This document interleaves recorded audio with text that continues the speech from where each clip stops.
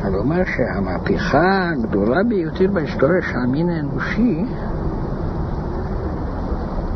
היא שהתרבות החברתית והרוחנית פסקה מלהיות תרבות אנוש, אה, גברית ונעשתה תרבות אנושית. וזה אולי ההישג הגדול ביותר.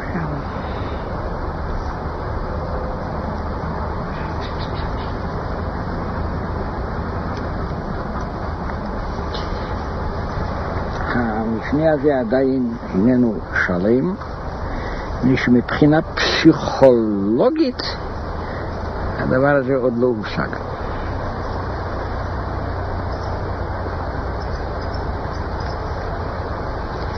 ויש הרושם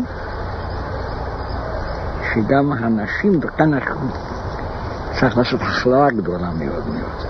הכללה גדולה, כל הכללה, היא איננה, כל גנרליזציה כן, איננה מודקת, שהנשים עצמם עדיין אינן חשות את עצמם כשייכות למציאות החברתית והתרבותית כמו הגבר.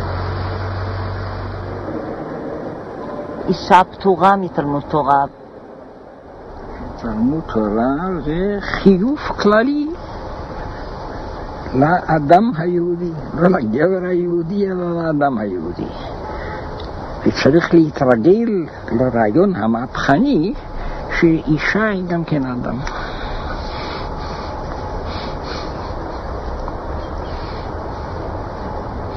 לא, זה לא היה דבר מובן מאליו.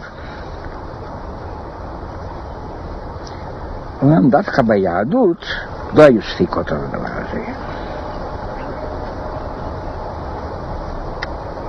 בגלל הפסוק המפורש, כן? זכר ונקבה ברא אותם ויקרא את שמם אדם.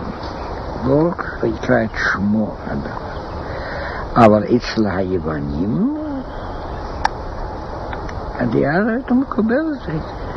אצל אריסטו, שבפירוש הוא אומר שהאישה זה אדם פגום.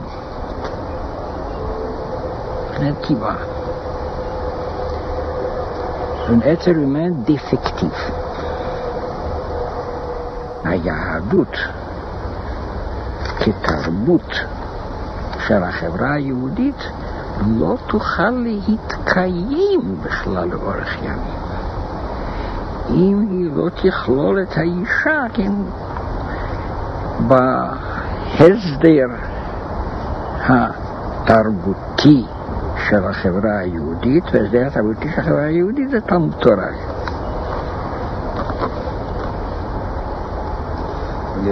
בתפילת שחרית, שאתה מודה כל בוקר לאלוהים שאתה איש. כן. מה אתה עושה עם התפילה הזאת? תראה, נוסח התפילה זה מוכתב לי, זה בכלל לא מבטא את מה ש... שום תפילה איננה מבטאה את רגשותיי ואת תפיסתי. זה הנוסחה של עבודת אלוהים. ויש בתפילה הרבה דברים שניסוחים לא מוצלחים, כן? זה אנחנו כולנו יודעים ומבינים.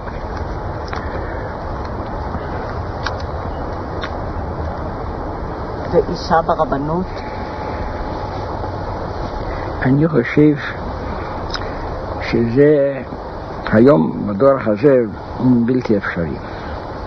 לא שאני רואה בזה איזה איסור, זה פגם. אבל כאן באמת המעצורים הפסיכולוגיים, אני מדבר כבר על עולמה של היהדות האורתודוקסית, הם כל כך גדולים שלא ייתכן בכלל בדור הזה לנסות לשנות את הדבר.